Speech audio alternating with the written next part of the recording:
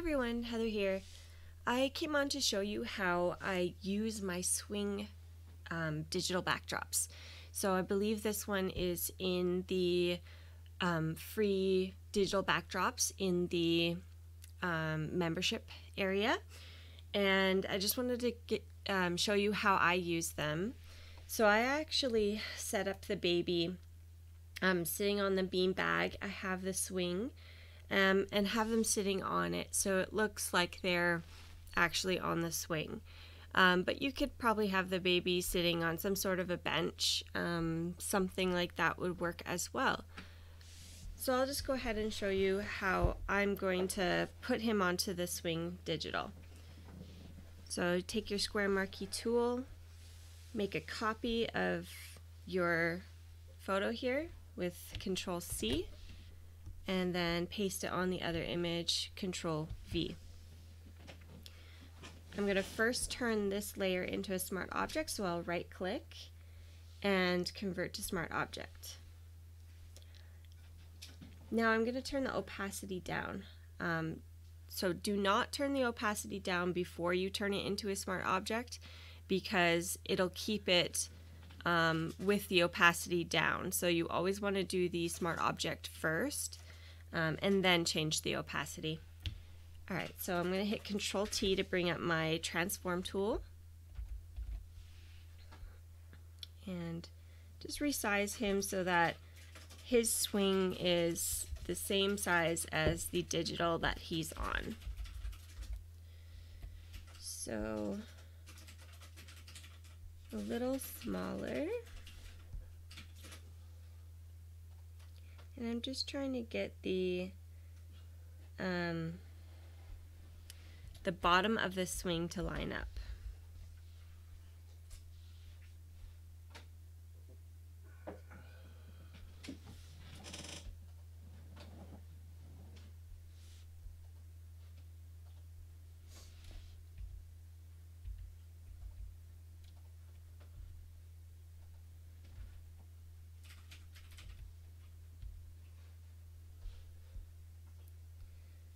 Can't seem to see. There it is. So maybe he's a little smaller.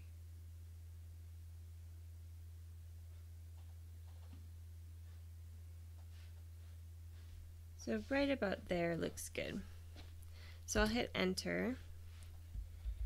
And I'm going to bring the opacity back up on this layer. And I'm going to put a layer mask on it. So I'm going to click this little camera icon and it'll bring up a white layer mask and you'll want to invert that. So you just hit control I to invert it. And then we're just gonna take our brush and it needs to be a normal soft round brush. And I have my hardness at zero. I have my opacity on my brush at 100 and I'm just going to paint him in to the digital. So I have a black brush right now, but you need a white brush. So um, if you hit X, it'll toggle bet between your brushes here. And I'll just paint him into the digital. So don't worry about that white right now. Um, we can easily go back in and fix it.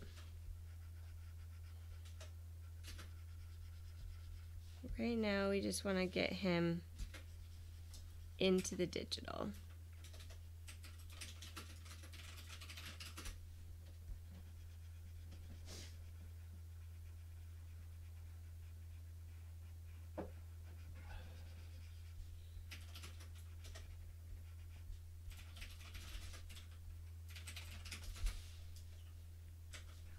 Okay.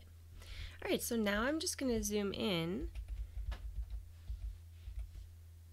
and I'm going to toggle back to my um, black brush by hitting X and now I'm just going to paint out some of this and I'm just going to keep going back and forth between my white and black brush until I get it the way I like it.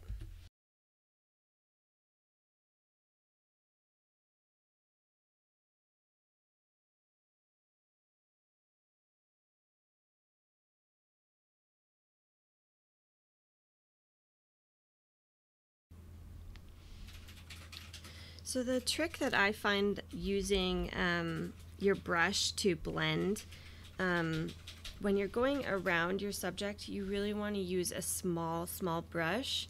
Um, because I see that a lot of people, when they do composites, um, they're using kind of a larger soft brush. And what happens with that is when you're trying, I'll just show you, when you're trying to blend it with a large brush, you can see it's kind of falling into the subject. And we don't want there to be that fall off um, because then it's just not going to look realistic. People are going to know that you painted them in. And even though, you know, a lot of composites are, are not um, meant to be realistic, you still want them to blend in and the subject blend in. Um, so I just find that using, I'm going to hit Control Z to go back here. I just find that using a really small brush around the subject is the best thing to do with blending.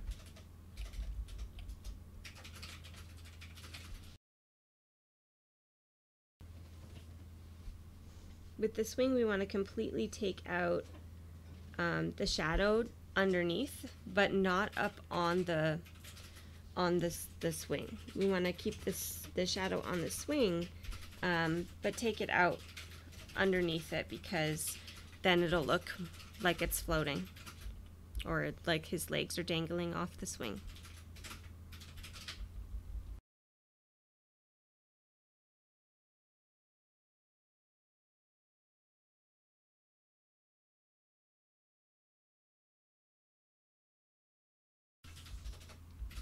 Alright, so we got all the white out, but now as you can see underneath him, there is a little bit of, um, you can see where I've painted that out. So, you know what, I think I missed some of him, so let me just see here. Oh yeah, I missed a lot of him, so let's paint him back in. Oops.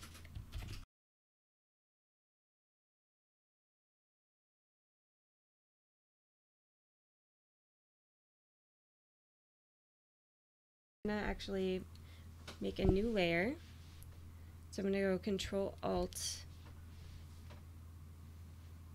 con uh, Shift Control Alt E. We'll create a new layer over top, and I'm gonna start um, blending it with the clone tool here. Sorry, the patch tool. So anything that I see needs blending in, I'm just going to patch it.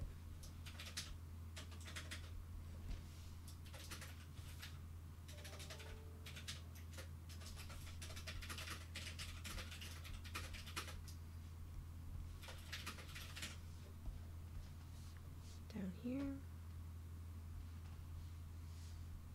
Just get rid of that hard line and it won't be so noticeable.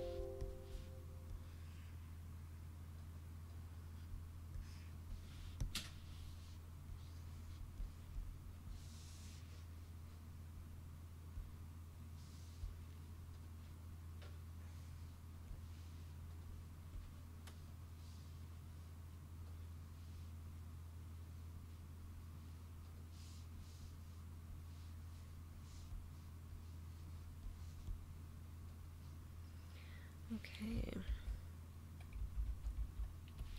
And then I'm also going to get rid of this knot in it as well. So I'm just gonna, um, oh, still use my patch tool, and I'm just gonna draw like a little square around it and just patch it out.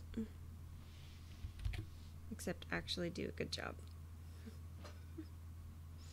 There we go. Deselect and the other one isn't showing so we'll just leave that